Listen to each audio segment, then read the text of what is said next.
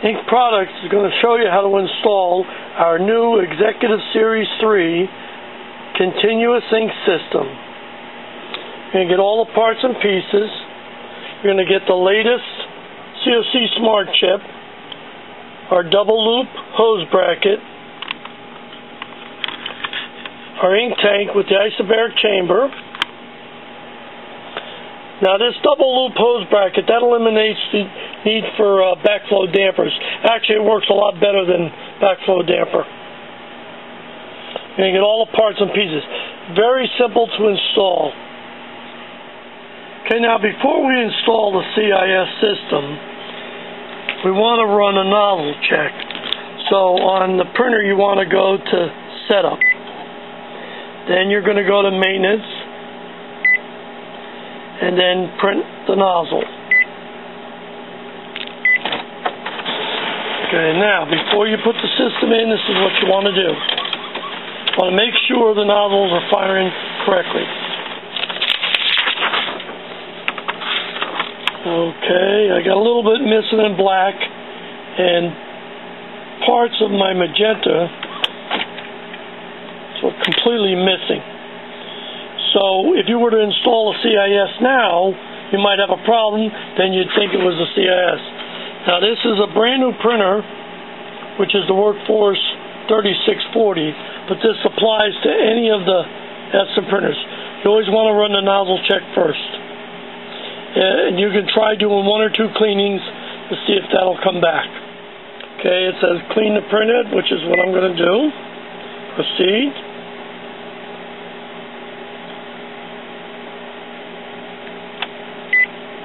There you go. Now it asks me all colors, black. I'm going to do all colors.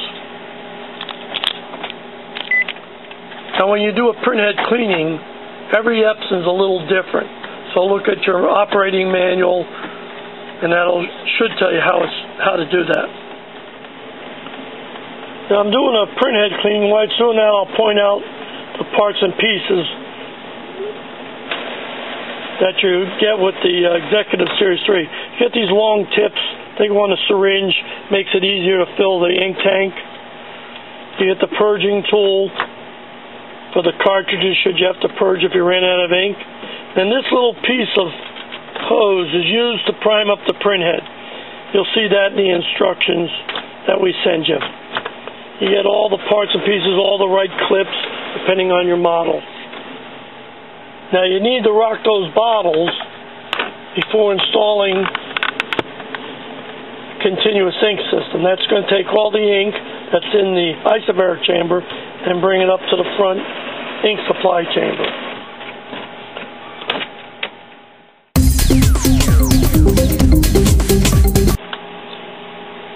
Now I'm going to show you how to install it on the Workforce 3640, 3620, they all install exactly the same. So I brought the cartridges over so I, so I could get them out. So what I'm going to do is reach behind the printer and unplug the power cable. Now I'll be able to move this without damaging anything. Open up the cover. You don't have to take the cover off. You're going to take out the Epson cartridges. With our system, it does not require you to cut anything off the printer or take anything off the printer. So we're not going to void any warranty. Now I already balanced, let me move this stuff out of the way, I already balanced the ink tank. That'll take all the ink out of the isobaric chamber. And the next thing I'm going to do, the lid open, I'm going to slide these through that opening. This way I don't have to take that off. So you're going to just go up and slide it right through. Okay? And then I'm going to put it right down in there. Sure it's down in there. You want to hear it click in. It's got to click in, otherwise you will get, cannot recognize. Take your time. It's really a tight fit. There you go. Oops, closed. I'm pushing it down so it clicked in. I usually push right here by the circles be careful with this. This is the connector there. I'm going to click it up again just to show you what I did. So I'm going to push it down. You hear it click.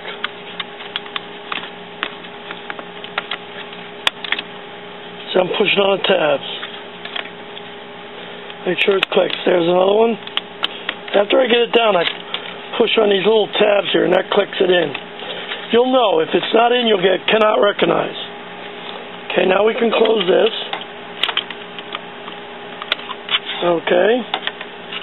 Now let me point this out. Make sure the hose is coming out like that. So don't tangle it up in there. There. Now, I'm going to put one hose bracket right here. Again, the 3640, 3620 works the same.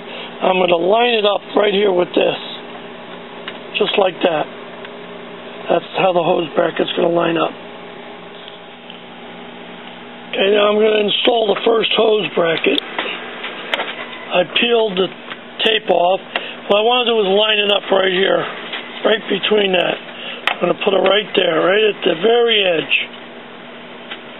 Just like that. Stick it down. Now I can bring the hose.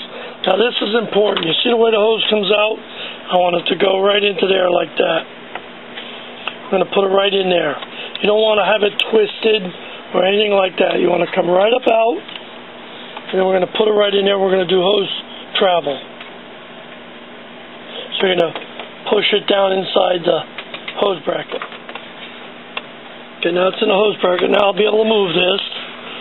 I come all the way over. Okay, go back. And that's what you want. Now there's going to be another hose bracket right on the outside. So I'm going to have the hose come along and I'll lay it just like that. So you take the little black hose bracket, you peel it, and you're going to stick it right on the side like that. Okay, now I've put the other hose bracket, got it down there. Now, I want to point this out. A lot of these printers now have extra trays and everything. So if I left the system down low like this, it causes too much back pressure so the ink can't be drawn up. So the key is this little line right here. And I want the, the case to sit even with the top of the printer right here. So I got a little box I'm going to set it on. You can find anything you can and then you'll just be able to set it up there like that. See? Now you can go up a little bit higher, but if you're just a little low like that, that's fine. Now, before I turn it on, it's very important, I'm going to remove the little black, these little plugs in the back here. These are where the air goes into the isobaric chamber. Don't take the front out.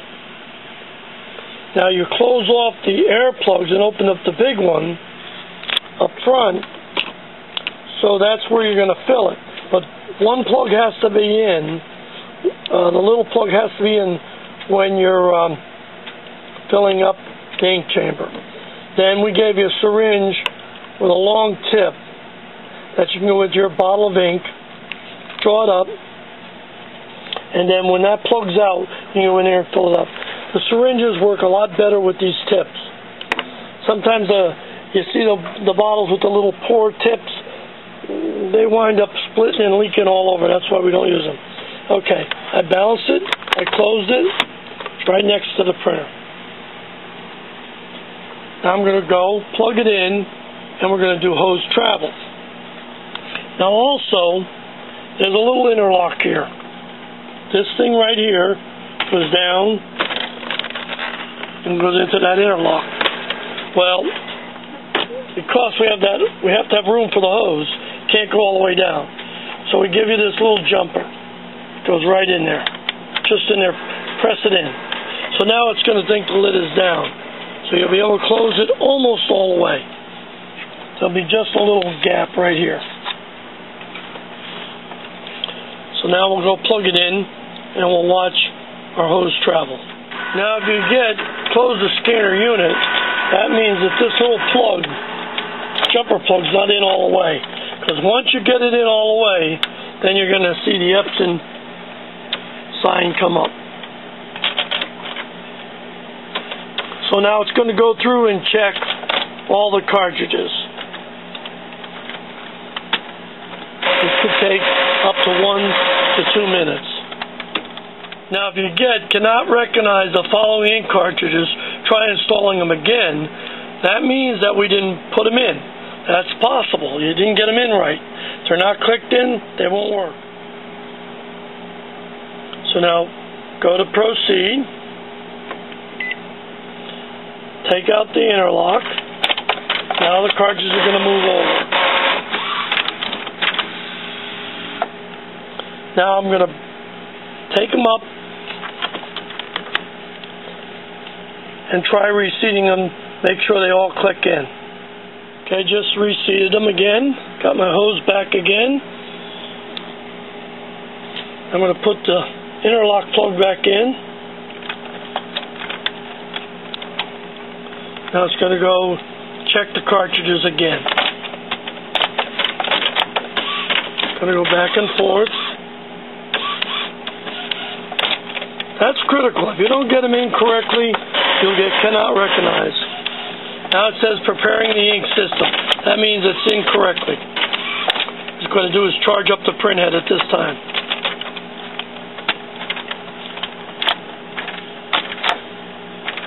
Now we didn't have to cut anything in the printer, we didn't have to take anything off, and it's very simple to install. Interlock plug, hose bracket, hose bracket. Make sure you lift the box up. Now the CIS can go even with the top right here or a little bit lower, but it cannot go on the table like you normally would. That's because it has added tray here. And even if it didn't have an added tray, you want to make sure it's just below the top of the printer when the scanner is open. And if you see a little bit of air in here, that'll go away. That'll once you do a, a printhead cleaning, that'll all disappear. Okay, now once you've installed our continuous ink system cartridges in the system, Epson will say, you have not installed genuine Epson.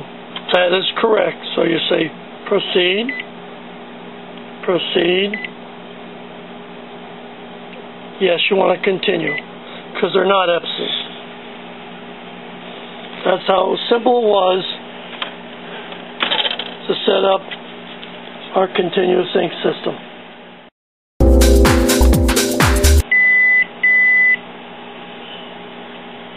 Now here, it just said, cannot recognize the cyan, because I've been printing with this. So, first thing I want to do is take out the plug.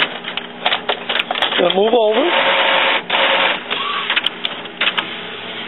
Like I was going to replace the cartridge. Now, reach in, hold it, 1,000, 2,000, 3,000, let go. Come over here, put the plug back in. It's going to check the cartridges.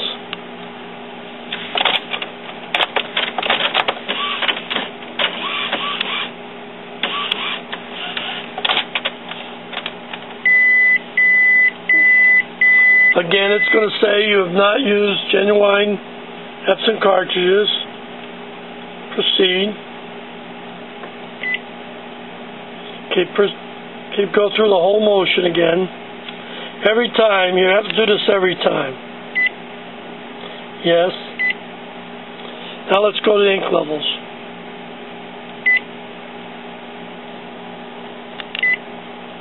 There, reset all the ink levels back up.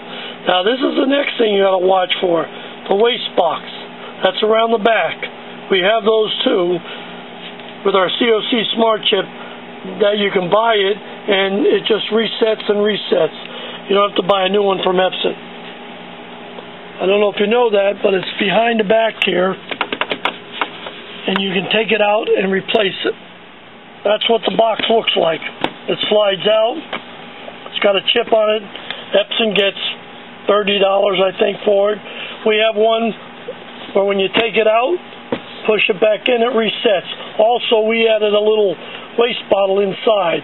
So instead of having ink all over, you just take it out and dump the waste bottle. For more information about that, go to inkproducts.com.